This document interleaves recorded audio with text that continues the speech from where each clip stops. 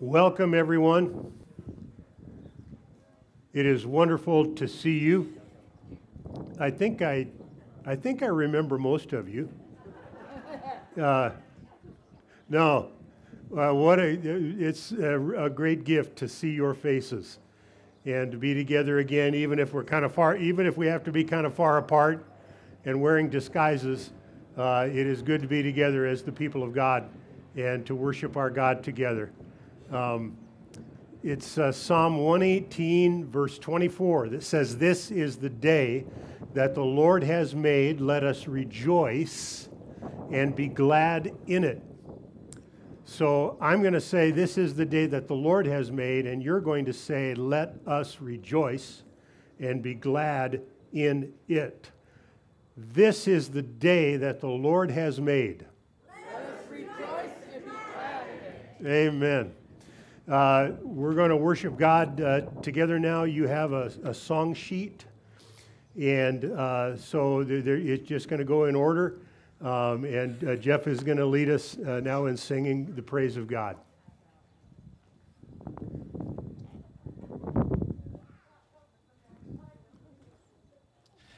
A little bit of instruction on singing with masks.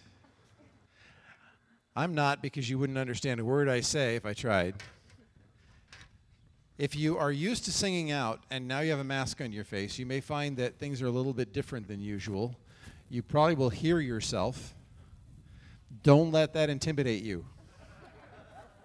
You've always sounded like that, you just didn't know it.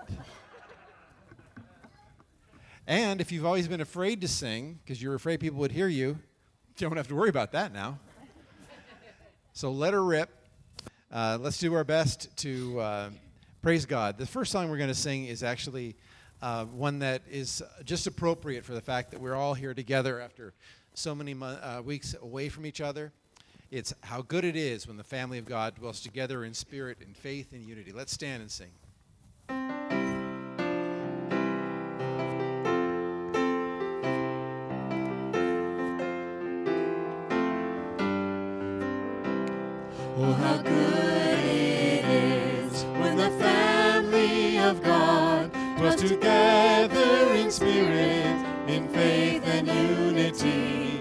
The bonds of peace, of acceptance and love are the fruit of His presence here among us.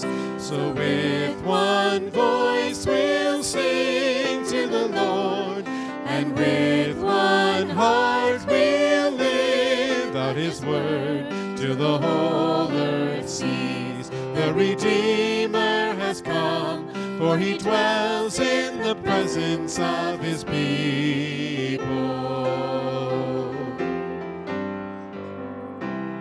Oh, how good it is on this journey we share to rejoice with the happy and weep with those who mourn. For the weak find strength, afflicted find grace when we offer the blessing of belonging.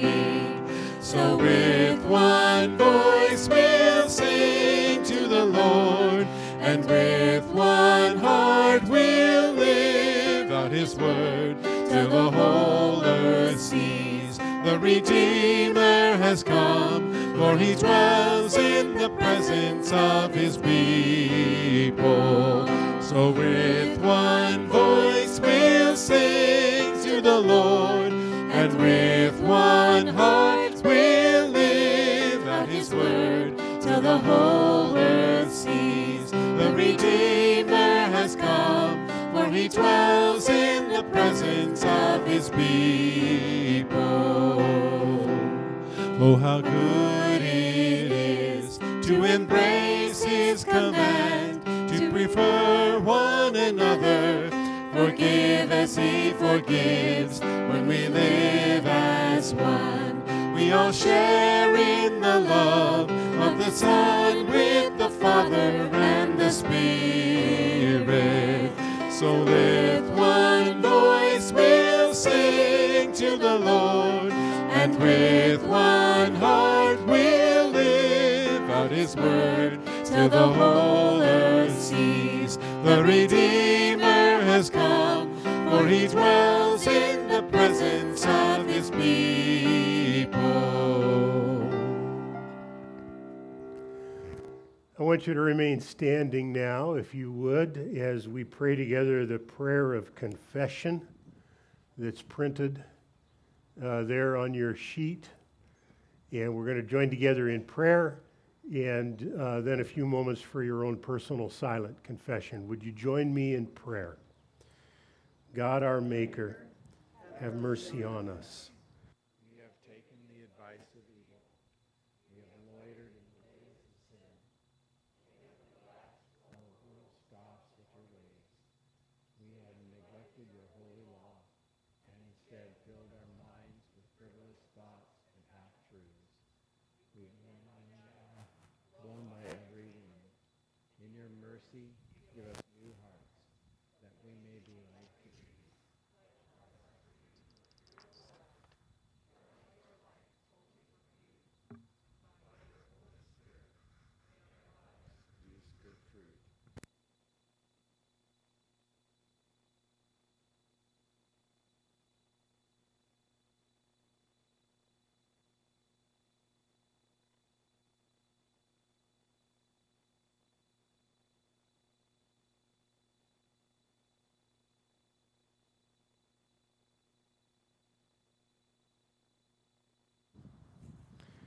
Amen.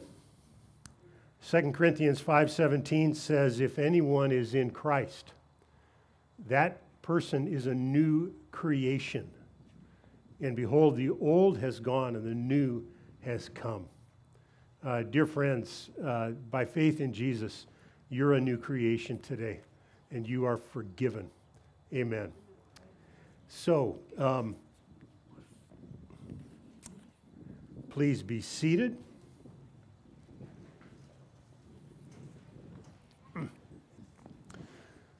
Most of you uh, already know Abby and Preston Conger. Uh, if you don't, you've got the, the treat of meeting them right now. Abby and Preston, why don't you come on up and uh, we'll get you set up right here. Abby and Preston uh, are preparing and have been preparing for many months now uh, to answer God's call in cross cultural mission uh, to go to Guatemala and uh, to serve Jesus Christ, uh, to serve the church there in, in Guatemala. I'm going to let them give you the details uh, about it, um, but please listen carefully. Thank you. Thank you, Pastor Phil, for inviting us up here, and um, thank you all for um, um, inviting us here. And or, or, we want to say we're glad to be with you this morning. It, it's been a long time since we've gotten together, and it's good to actually be able to gather with a group of believers, in Christ Pres. And like Pastor Phil said, we're the Congers. I'm Preston, and this is this is Abby, and we have little Clara over there with her with her Grammy, um, in the in the yellow sweater. And yes, we're going to Guatemala uh, as a family. Oh yeah, and I forgot to mention we have a little one on the way next month. Um, and so I just want to say we're glad to be members of a mission-minded church like Christ Pres. It is really good to be a part of a church who's committed to a commitment and a tradition that has actually been around since the first century when Paul planted churches and strengthened the worldwide church in the Mediterranean world. So I know we've done a couple videos before, so we wanted to just kind of give a quick update as to what um, is happening in Guatemala right now. So um, you, as you've probably seen in the news, Latin America is kind of the next hotspot for coronavirus, and Guatemala is no exception. Um, on Friday, they had almost 650 cases, um, which is up from uh, about 400 a week ago, and then you know 50 a couple weeks before that. So uh, it's really been spiking and uh, rising exponentially. Um, there's been some government government enforced lockdowns, uh, but nothing um, holistic like we've seen here. So mostly just a nightly curfew and a few weekends where they um, had to be quarantined for the whole Friday through Sunday. Um, and in Guatemala, the real problem is is hunger, is um, access to food, um, and some basic necessities. So um, we've just been praying for that, and we just pray that we ask that you guys be praying along with us. And and really, it's the long-term effects of this are going to be uh, worse in Guatemala than they will be here, just because they rely on uh, uh, exterior countries for stability. So they they rely a lot of, on international cooperation, um, and they just don't have reserves like we do here. So just we just ask that you be praying with us for Guatemala and the people there. This crisis that we've faced ourselves and the whole world has been facing threatens the vitality of SETECA's mission to train future ministry leaders. Um, is a seminary in Guatemala City where Abby and I will be teaching, be teaching Bible and theology and helping the seminary raise the next generation of ministry leaders in Guatemala City and all over the country, and actually in countries all over Latin America. SETECA in this time has had to cut nearly half of their staff with an unclear future. And they have virtually no adjunct faculty. The ones that are still on are teaching ad honorem or without pay. And the seminary is very much relying on teachers who are able to pay without an income from the seminary. Limited technology limits the availability of digital education. We've been able to respond to the crisis in part in education because of the digital, the technology that we have available in our homes and virtually everywhere. It is not so pervasive in Guatemala. SETECA has been able to provide some classes online, but as they're limited in their capabilities and as the students have been a part of their programs, have, have availability in their homes. SETECA has been training uh, ministry leaders for a long time. They began in 1929, and they have grown since then to have students in all the various programs, about 1,300 students, and this has been a big hit for them. Um, we're personally excited. We had no, no idea, no, none of us knew this crisis was going to hit, this pandemic. And we, were, we had a lot to look forward to in going to SETECA, and we still do. We're, we believe that we can be a part of the future of the global church with Guatemala. We all do. We believe that um, the vitality of the church in one place affects the vitality of the church in another all the churches around the world, our livelihood together as brothers and sisters um, interact with each other. We, we all build each other up, whether we can see our brothers face to face or not. Um, we are affirming the work that SETECA has done for the church for decades, almost a century, by supporting their ministry and being with them in a hard time. And we can, we're at a crossroads of, for the church worldwide. Um, this is a hard time, and we have a lot of issues of our own. And we want to take this opportunity to stand with our brothers and sisters across the world who are also facing issues in this, in this hard time.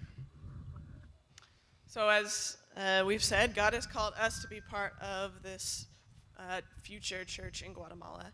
Um, and Christ Pres, as a church body, has affirmed that call um, and chosen to stand behind us in this ministry.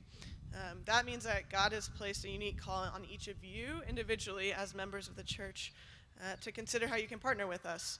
Um, it's part of that is a call to encourage us um, and the brothers and sisters in Guatemala um, as we raise support and get ready to head down there, especially in this age of increased isolation. Um, so even if you feel like you don't have a lot to give, really anything helps. Anything is encouraging, um, and anything is going to help on the path uh, to get down there. We can't leave until we have full financial support. Um, this is usually regular monthly giving, um, but one time gifts also are helpful. Um, after the service, we're going to set up like a little table area where we can answer questions. Um, a lot of you received pledge cards in the mail, so if you have those, we can take those today. Um, we can get you more information, get you added to our newsletter if you're not already getting that. Um, you can pick up a prayer card to put on your refrigerator uh, or your desk at home um, so you can remember to be praying for us and for Guatemala. Just a quick timeline update about what's next for us. So, right now, partnership development is our main priority. We're at about 30% right now. Um, we want to be at 50% by the time our second little girl comes along. That's in about a month. So, um, we're hoping that you guys can help us with that, get that next 20%. Um, in September, we have the second half of our team orientation. Team is the Evangelical Alliance mission. That's the uh, agency that is kind of supporting us as we get ready to go. Um, and we need to be at 60% of our goal to attend. Um, after that, we're um, still hoping to take an extended trip to visit Preston's family and home church in Aiken, South Carolina. Um, and then the next kind of goal would be to be at 100% by the beginning of December. So that allows us to attend one final month long training in Colorado in January. Um, and then our goal is to leave at the beginning of February if everything's open. So. So please be praying for us. And we do ask, seriously consider financially partnering with us. Uh, we both believe this is a real opportunity that God has given us as Christ Pres to participate in what God's doing around the world, specifically with Guatemala and the strengthening of the church worldwide. And we'll, uh, it, well, like Abby said, we'll be, have a table. We'll set it up after the service where you can drop off your pledge card or pick another one up. And it, it's our dream, really, for every single member at Christ Pres to partner with us in some way, whether financially or in, with, in your prayers. And we, we consider it a real honor and an opportunity for all of us to partner together. So thank you again for your time today and for your prayers for Guatemala. Abby and Preston, please, please just stay right there. Um, I'm going to do, we cannot do prayer with laying on of hands, but we can do high-tech Bluetooth laying on of hands. Just, just raise up, raise up your hand right now. Ser- seriously, do it as a, as a symbolic gesture of, of connection. Uh, and I'm, I'm going to pray for Abby and Preston. Uh, let's bow together. Heavenly Father, uh, we just uh, give you thanks uh, for your call on all of our lives. You've called us to take up the cross and follow you. And uh, we thank you for Abby and Preston and that they've answered your call to take up that cross and, and go to Guatemala. And uh, Father, uh, this is a, a, really joyful gift for our church, and we thank you for it. And thank you for your leading in Abby and Preston's lives. And uh, Father, we pray you'll just continue to work in hearts uh, to uh, raise the support that they need, the, the financial support and the prayer support uh, the training that they will need, Father. Uh, we, we give this to you and pray that your Holy Spirit would move to provide everything that they need. We pray for brothers and sisters in Guatemala right now, your church there, and, and, the work of SETECA, uh, the word of Iglesia Reforma. Father, bless that work. bless all your people in Guatemala and strengthen your church and uh, their witness to Jesus uh, among the Guatemalan people. We trust this all to you with great hope and confidence in the strong name of Jesus and for his sake. Amen. Amen. All right. Um, and just to underline a, a little bit, um, I encourage you to, to think about uh, committed pr- and pray about committed monthly support for the Congers. Uh, and, and as always, uh, with any with any appeal that we make here at the here at Christ Presbyterian, that's between you and the Lord. Um, and for these gifts, uh, they, they don't go through the church. Please do not write a check to the church for Abby and Preston. Uh, these go directly to team, so get the information from them. And what they need mostly is, is that committed monthly regular support. Uh, but uh, God may God may prompt you to do that or not. But here's my challenge for us: we as a church can do 100% prayer support for Abby and Preston. Uh, every single one of us can make that commitment to them, and uh, I, I, really I expect us to reach that goal. Uh, let's let's just do it. 100% prayer support. Uh, so.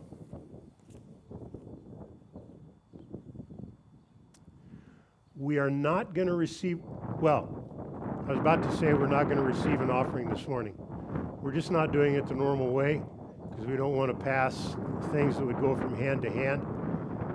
Eric Lee has a box back there that is conveniently labeled offering. And uh, if you would like to make a gift today, uh, Eric is going to have that box after the service this morning. Just find Eric and, and put it in. There's a slot in the top of the box. Uh, just put it in the box. Right now, oh, one, one other thing. Next week, our plan is to be back in that building with masks and social distancing. I'm not wearing a mask so that you can understand me. I'm not just going to be mumbling at you for a while. Uh, but please wear a mask. And because of the need of social distancing, we're going to have two services. Where there's going to be the first one at 8:30 a.m. and the second one at 10:30 a.m. Please do not, li- uh, unfortunately, if you want to linger afterwards, you'll do it in the parking lot. Uh, we need to get in, get out, uh, so that we can uh, do some disinfecting between services.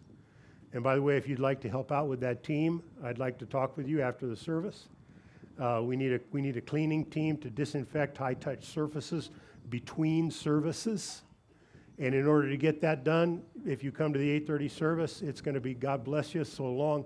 Uh, please go out to the parking lot and have fellowship. We're not going to have cookies. We're not going to have coffee. Uh, there, there will come a day when we're going to be back to normal. Anyway, uh, I had a stray thought, sorry, and I'm not going to follow it.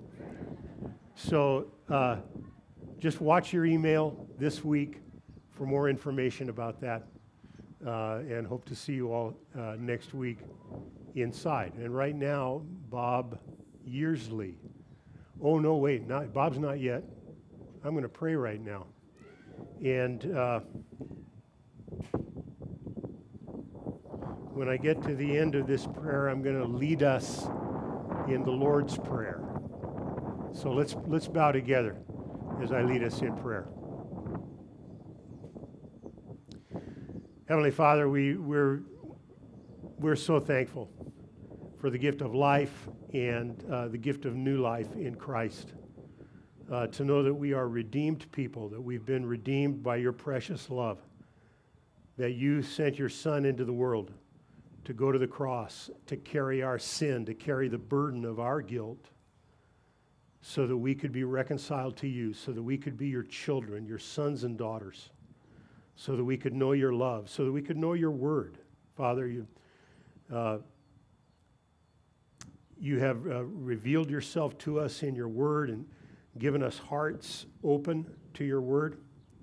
So we give you thanks and praise for that. And just thank you, oh God, for the gift of being back uh, together here again today after so many weeks being apart. Uh, this is a precious gift and uh, just to see familiar faces and to hear familiar voices. And uh, we remember the words of the psalmist Oh, how good and pleasant it is when brothers and sisters dwell together in unity.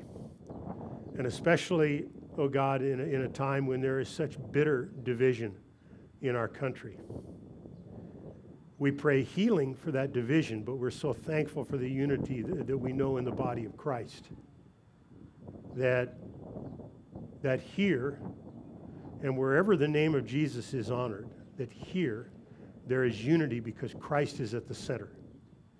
And every heart is submitted to Him first. And Father, we pray that unity, the unity of Jesus for the whole world. And we pray for our country today that there would be a repentance and a turning toward you. Uh, oh God, unity will never come uh, when proud hearts are raised up in division and accusation, one against the other. And Father, we confess that uh, we've been guilty of that too. Forgive us. And uh, God, may we be voices and witnesses of reconciliation and hope that only comes through Jesus Christ. Father, we pray uh, for those who are sick and hurting today in any way, and we pray especially healing for uh, Rebecca for her foot and Linda for her ankle, and for, for Charles, uh, healing from uh, skin cancer, and Ira, Brenna, Arabelle, Josh, Nora.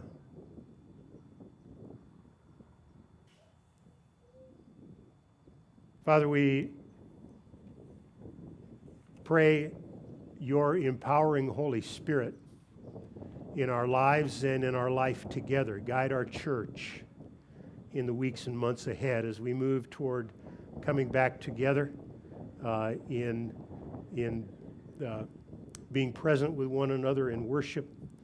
Uh, oh God, uh, there's, there's still challenges out in front of us, so, so guide us, protect us, we pray. And I, we offer all of these things in the strong name of Jesus and for his sake, the one who taught us to pray together, saying, Our Father, who art in heaven, hallowed be.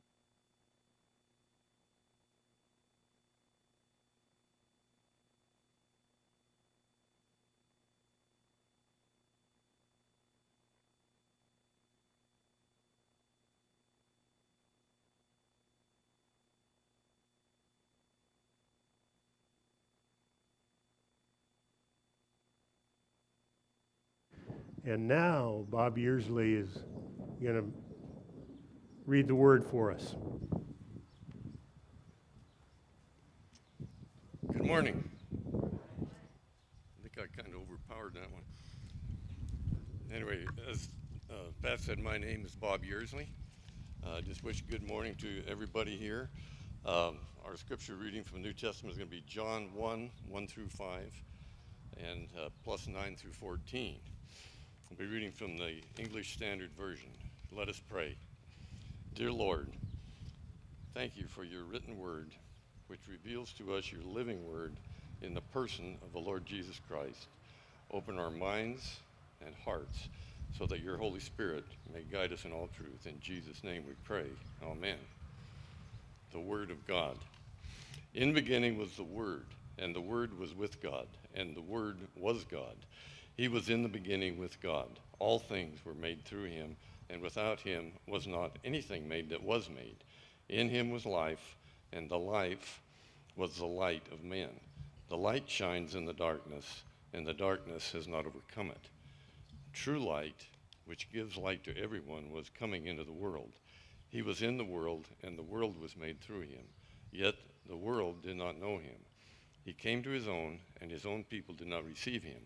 But to all who did receive him, who believed in his name, he gave the right to become children of God, who were born not of blood, nor of the will of the flesh, nor of the will of man, but of God. And the Word became flesh and dwelt among us, and we have seen his glory, glory as of the only Son from the Father, full of grace and truth. The word of the Lord.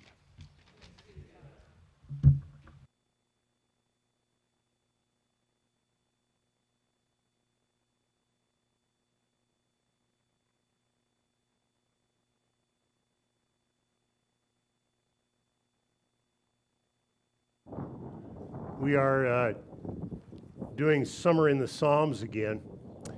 Uh, each week throughout the summer, I'll be preaching on one of the Psalms, and then uh, and and as part of the as part of the worship every week, we will be singing the Psalm uh, together or a portion of it. Uh, and uh, so I'm going to, in a moment, I'm going to read a selection from the 119th Psalm uh, which is the longest psalm in the Bible. And uh, it is, Psalm 119 is all about the Word of God and how precious the Word of God is and how uh, powerful and transformative the Word of God is. And, and it instructs us to open our hearts, open our minds to receive the Word of God. Now, uh, Bob just read uh, from John's Gospel the good news that the Word became flesh and lived among us. Jesus, full of grace and truth. Um, Jesus, throughout his ministry, honored the Word of God and taught his disciples to honor the Word of God and, and, and to receive it, to receive the Bible as such. Uh, so let me, re- I'm just going to read a short portion of the 119th Psalm. This is right from the middle, verses 105 to 112. And then uh, Jeff and the singing crew here is going to lead us in singing a, uh, a rendering of these words. Hear now the word of God. Your word is a lamp to my feet and a light to my path. I have sworn an oath and confirmed it to keep your righteous rules. I am severely afflicted. Give me life, O Lord, according to your word. Accept my free will offering of praise, O Lord, and teach me your rules. I hold my life in my hand continually, but I do not forget your law. The wicked have laid a snare for me, but I do not stray from your precepts. Your testimonies are my heritage forever, for they are the joy of my heart. I incline my heart to perform your statutes forever to the end. The word of the Lord. Thanks be to God. Let's stand together. Your portion on this is a printed in the bulletin. Simple refrain to the words of the song.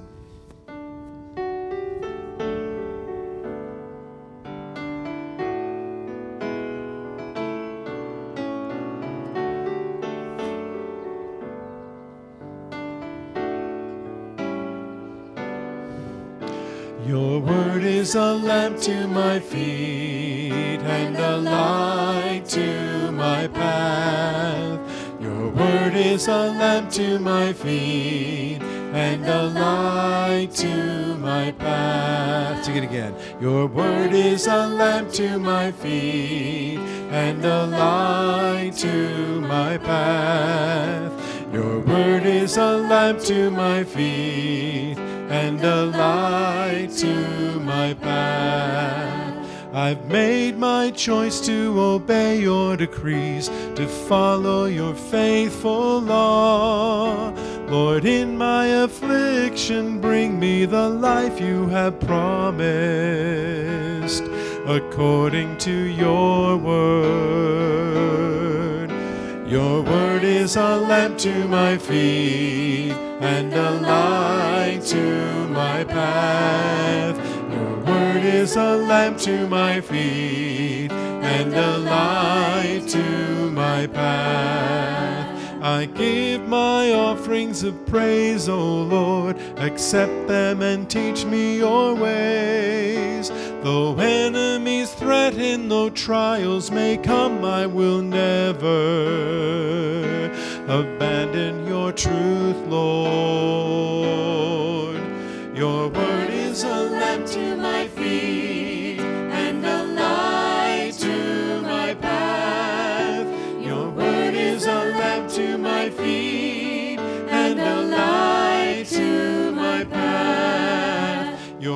words are my lasting inheritance, for they are the joy of my heart. I give all my strength to follow your laws forever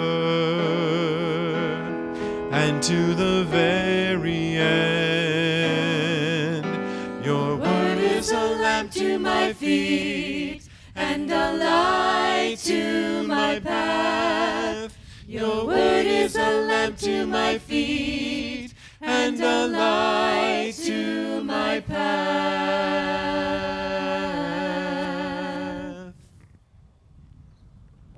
Please be seated.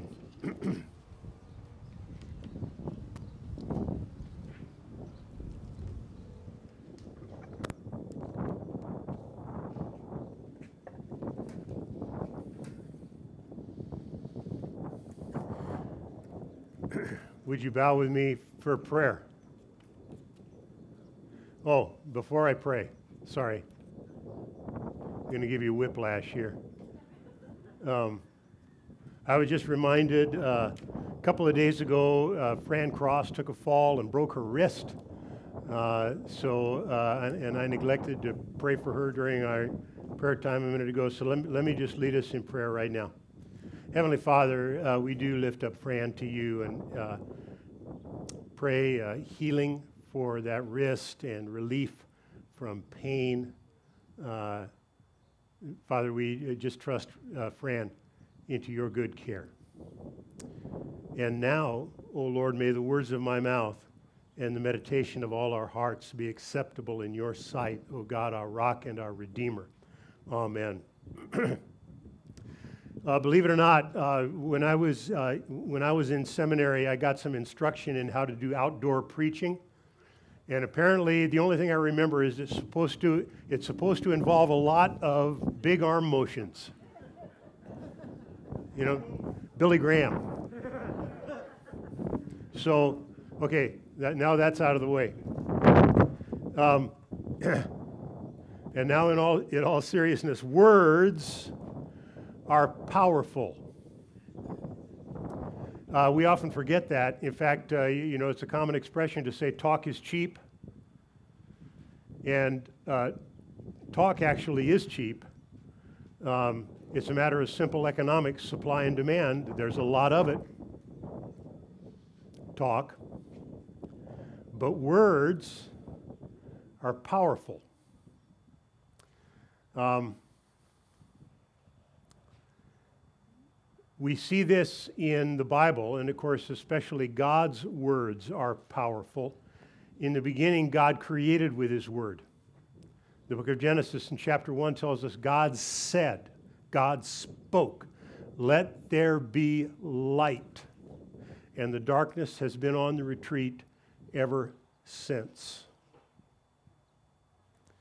And of course, we know as this side of this side of the cross and resurrection of Jesus that the Word became flesh and lived among us full of grace and truth. So, words are powerful, aren't they? And because we are created in the image of God, human words, even though, even though not, not, not anywhere near as powerful as God's word, because we are created in the image and likeness of God, our words are powerful too, for good and for ill. Uh, words can be a great blessing. Words can be uh, hurtful, uh, wounding. Uh, words can go to the heart uh, to encourage and to build up. Words can go to the heart to, to break hearts. One of my favorite writers, uh, Eugene Peterson, has said every one of us lives by a story. Every one of us live, live by words that were spoken by somebody else. And we like to imagine that no, no, no, I live, I live by my own script. I want to challenge you today. You live by words that were spoken by somebody else, for good or ill.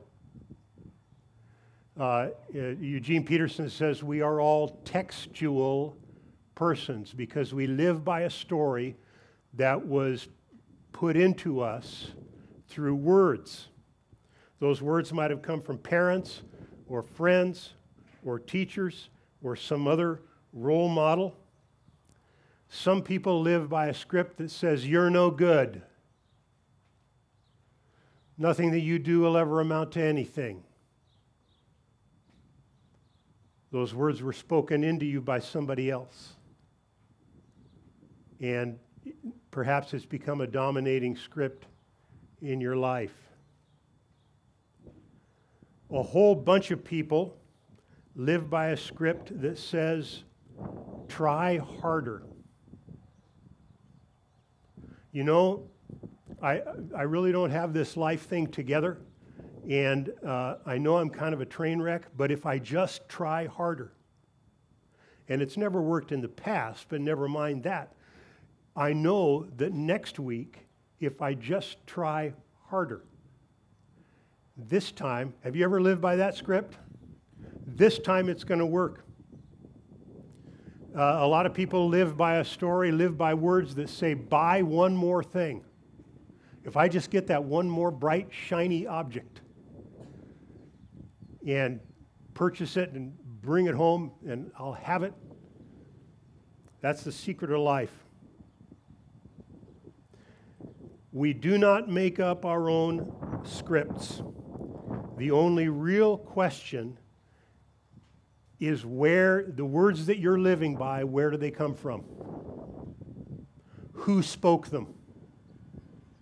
Are you living the truth of God's word or are you living a lie that somebody else spoke into your life? Now, another image that the Bible has, the Bible often says we're on a journey. We're walking a path in life. And in today's psalm, the 119th psalm, it implies a, a path. Your word is a lamp to my feet and a light to my path. You need God's word to direct you. Otherwise, you'll end up trapped in what the psalm calls the snares of the wicked. Well, I want to just uh, focus in on some specifics in this psalm. I need something that weighs something here. Keys will do. There we go. the first, the first portion that I want to focus in on from this psalm we learn from this text that God's words give light. God's words give light to our path, light to our feet in a dark world. Your word is a lamp to my feet and a light to my path. The Bible will faithfully show you the way to life at its best, the life of, a ble- the life of blessing, the life that God blesses, the life of knowing God and living in God's way. Now, sometimes we want the Bible to be something other than that. Sometimes we want the Bible to be an answer book that provides answers to every question in life, but that's not what the Bible is. The Bible is not a science book. It's not anti science, but it's not a science book. Uh, the Bi- Bible is not a literature text, it's not a political manifesto.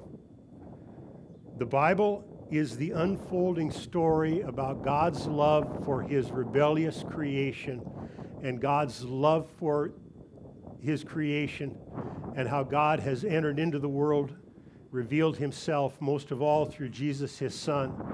And Jesus, yikes.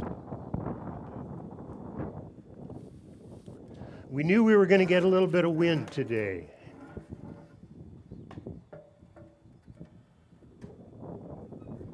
put this here.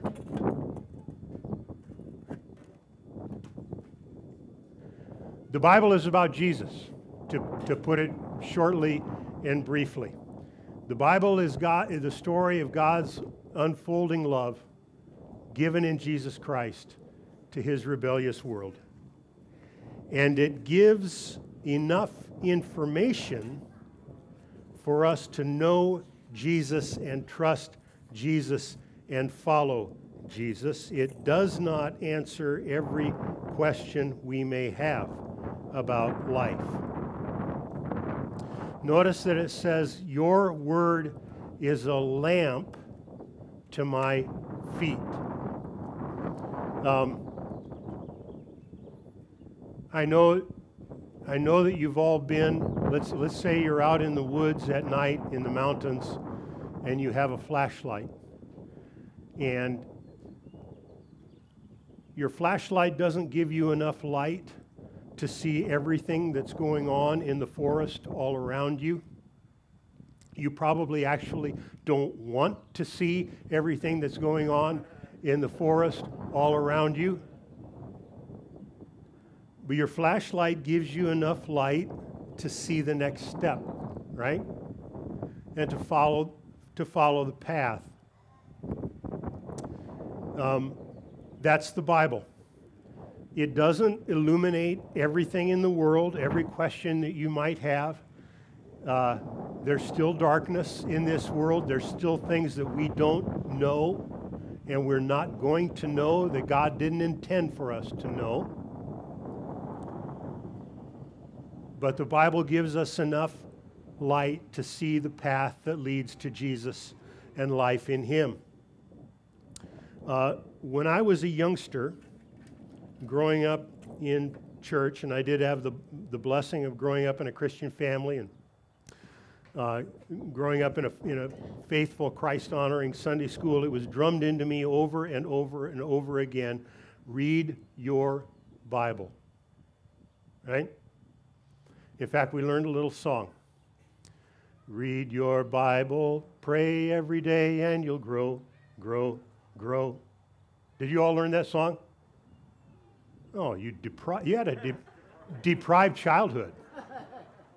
Read your Bible, pray every day, and you'll grow, grow, grow. And you'll grow, grow, grow. And you'll grow, grow, grow. Read your Bible, pray every day. You, you know what? I learned that song when I was about five years old. It's still true. It hasn't been improved on. Read it every day. Um,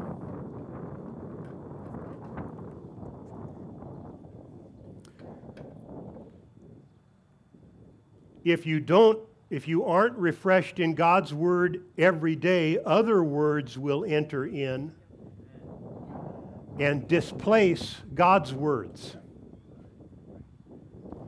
And whether those, those words come over media or uh, on social media, uh, over the radio, uh, what are you guided by? There will be, we are bombarded with words every day. Read your Bible every morning.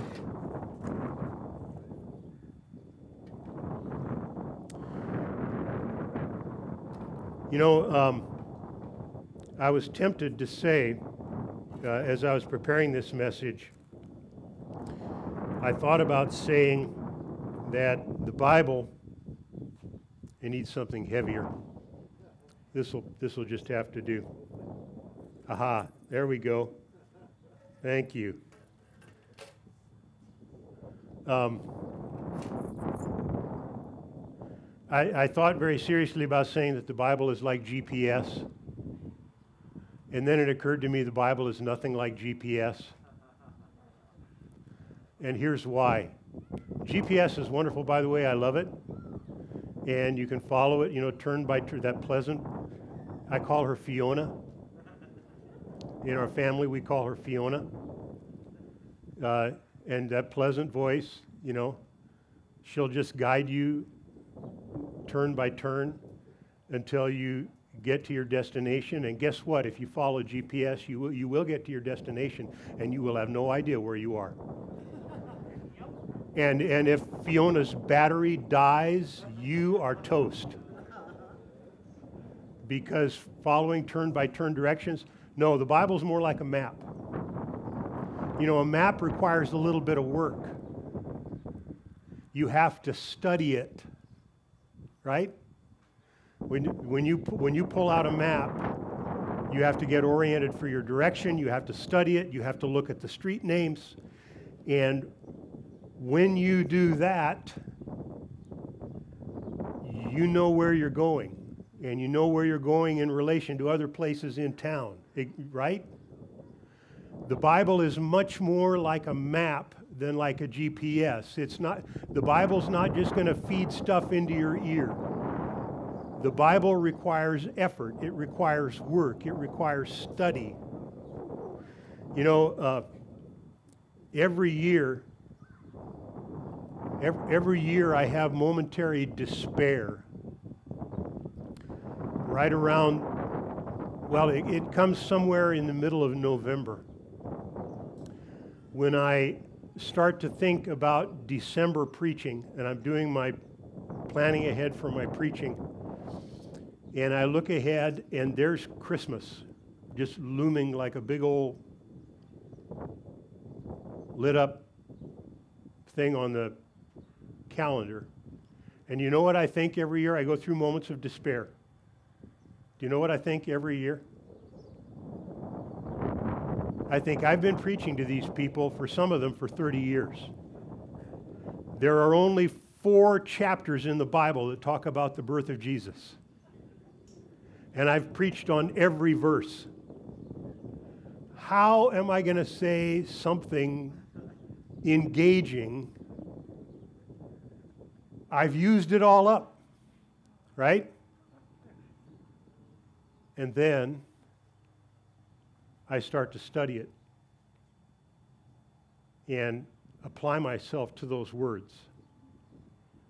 And oh my, n- n- light just begins to come out that I had never seen before, right?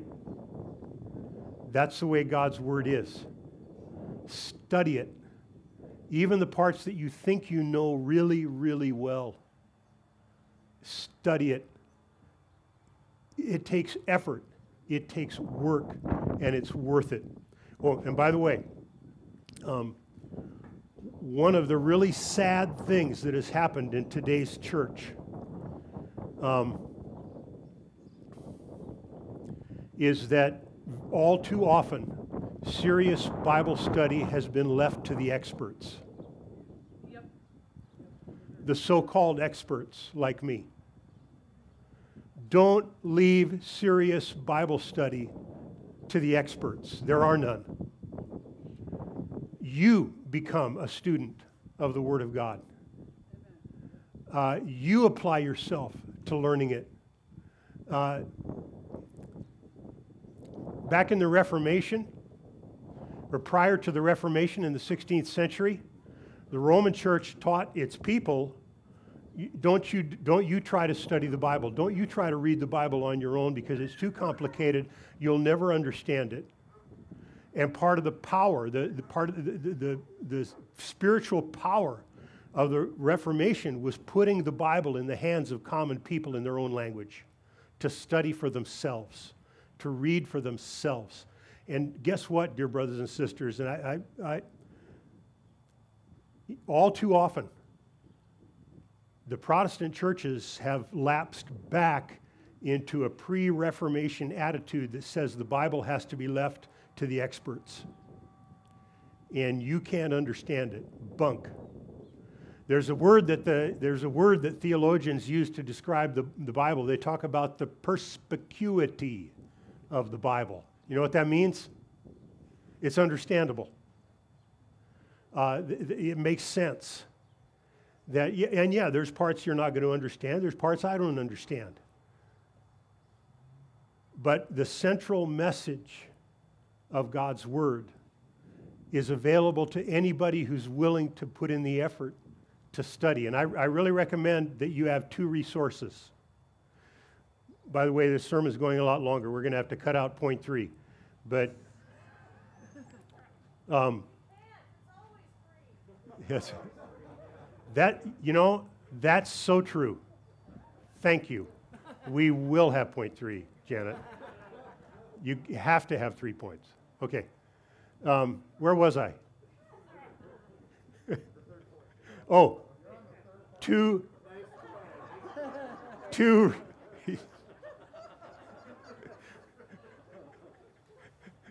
two resources that you should have for serious Bible. Actually, no, I'm going to say three. A good study Bible. Get the ESV study Bible, the NIV study Bible, the Life Application study Bible. There's lots of good ones out there. If you want a recommendation, I'll, I'll, I'll give you one. Get a good study Bible then get a one volume Bible dictionary. A one volume Bible dictionary. The, the, New Bible Dictionary by University Press. I, I really recommend. It's one volume, it's about that thick. Any word you come to in the Bible, you, you scratch in your head, or, or a name, who is this person, you can look it up in your one volume. You don't need to get one of those five volume sets, uh, doorstopper things. Just get a one volume Bible dictionary. And third, or uh, yeah, third, a good concordance. Most Bibles have a concordance in the back. Um, and a concordance simply means a listing of words. Uh, so you, you, you find a word in the Bible, you want to study it. Let's say you want to study forgiveness. You can look in the concordance and it will give you a dozen or 15 places where the word forgiveness is used. And so you can see different places in God's word that talk about forgiveness. So, God's word shines light. That was point one. Whoops. Boy.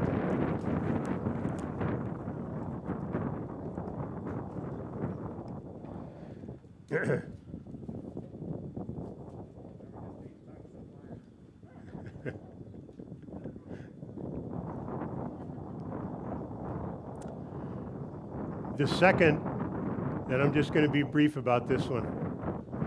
The second message that I want to take out of this psalm is that God's word gives life. Verse 107 says, I am severely afflicted. Give me life, O Lord, according to your word. Every one of us has been afflicted by sin that separated us from God. God's word gives life. Why? Because God's word leads, leads us to Jesus. That's the whole purpose of the Bible. The, you know, some people will, some people will talk about the Bible. Uh, the, an, an image you might have heard. It's an owner's manual for life. That's only secondarily true. The first purpose of the Bible is to lead you to Jesus, to find life in Him, forgiveness of your sin, to have that burden lifted off of you, to know why you're alive, to know that God loves you through the gift of His Son, to know that Christ will indwell you by His Holy Spirit and you'll walk with Him through life. That's the number one purpose of the Bible.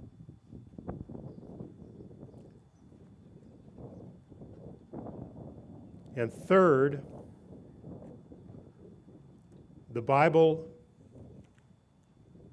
leads us to a commitment. Verse 112 out of the text that I read, the psalmist says, I incline my heart to I incline my heart to perform your statutes forever to the end. You follow that? That's implying a choice, it's implying a decision.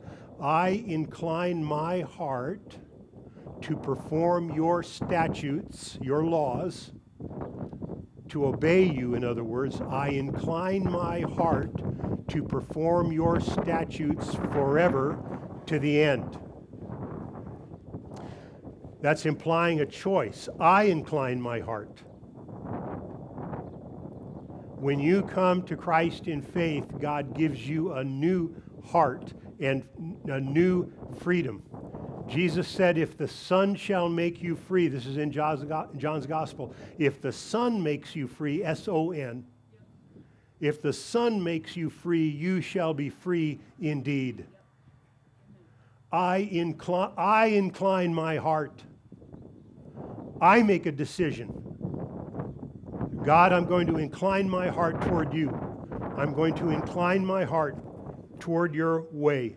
And you know what, dear brothers and sisters, that means I can I, that means when I get off of the path of life, which we all do and we all will, I, I can't blame my upbringing, I can't blame my parents, I can't blame you, can't blame my family. It's just me.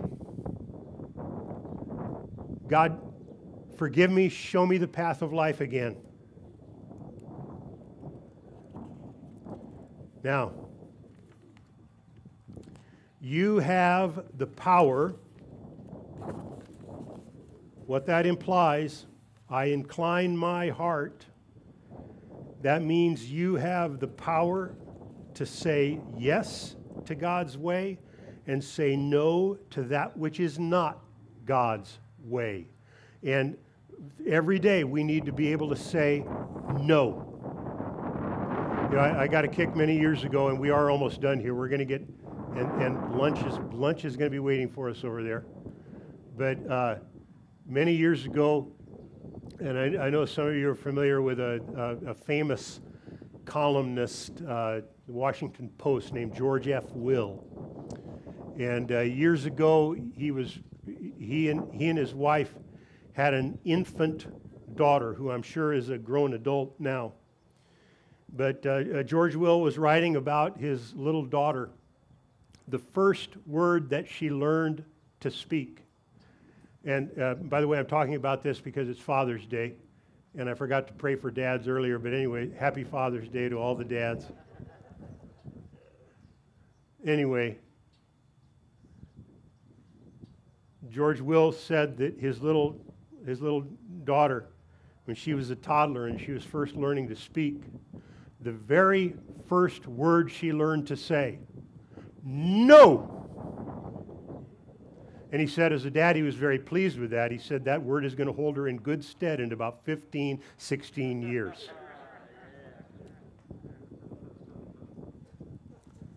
And you know what, brothers and sisters, that, that, that's still a good word to be when, when false words come to mind. That maybe that old word that says you're no good, or it may be a, a word tempting us to, to leave the path of righteousness that God has put in front of us. We say no. We, we are not a slave to our hormones. We are not a slave to our genetics. We're not a slave to the past. We are not slaves to pleasing others. No means you don't have to take the wrong path, but God also gives us the power I incline my heart toward you to say yes to the way that God's word is put in front of us. God the Father has given you the precious gift of life. God sent his Son to give that gift back to you when you squandered it. So, how will you use that life? How will you make wise choices? Read God's book, take it to heart. Amen. Let's pray.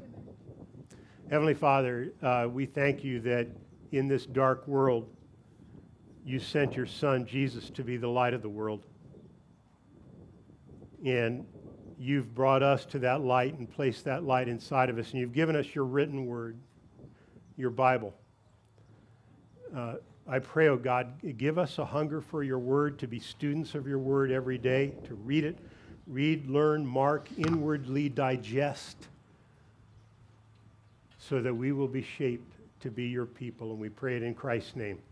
Amen. We're going to affirm our faith together in the words of the Apostles' Creed. Mine blew away, but hopefully I can remember it just enough to help lead, lead us in. I, would you stand? Please stand as you are able.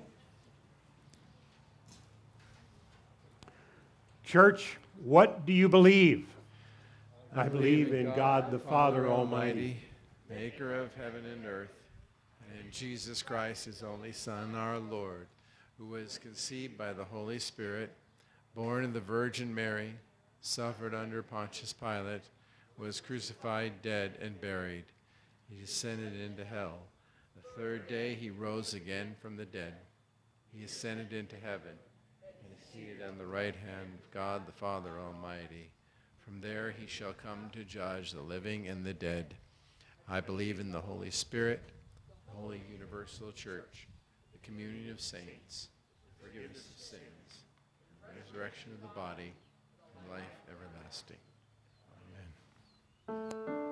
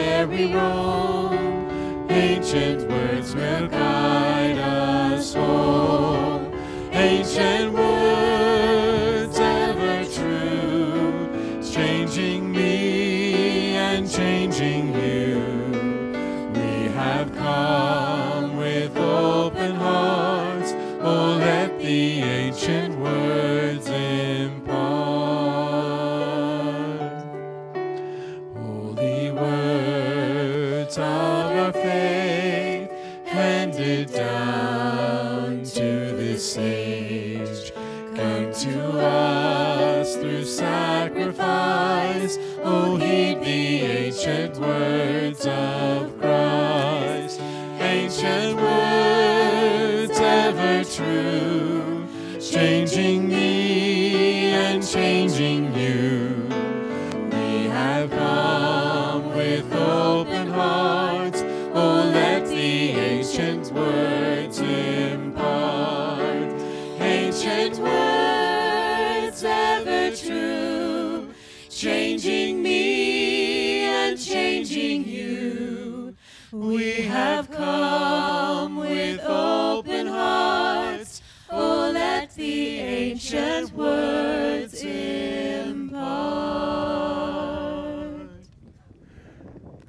ask you to sit back down right now for a moment because it's going to, serving is going to be a, a slightly slow, slow process. So I want to explain it.